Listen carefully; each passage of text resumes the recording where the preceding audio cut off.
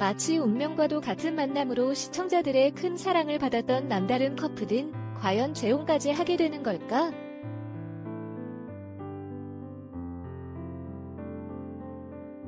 9일 MBN 돌싱글즈 최종회에서는 최종 선택 3개월 만에 스튜디오에 다시 등장한 이다은 윤남기 커플이 재혼하시겠습니까?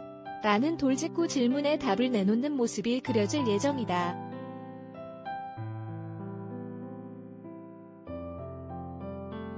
동거 후 최종 선택에서 망설임 없이 예슬을 선택했던 두 사람.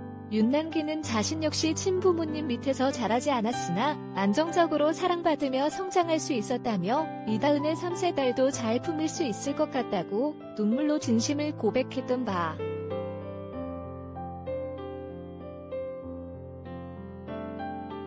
드라마보다 더 드라마 같은 인연의 두 사람은 돌싱글즈 이 커플 중 가장 강력한 응원을 받아왔고 최종회에서 재혼 여부에 대해 직접 밝힐 예정이다.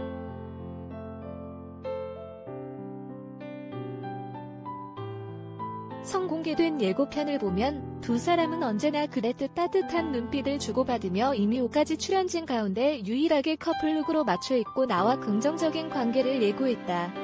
방송 이후에도 자연스럽게 만남을 이어온 것으로 보이는 두 사람은 이날 현재 관계와 함께 재혼 여부에 대해 직접 들려줄 예정이다.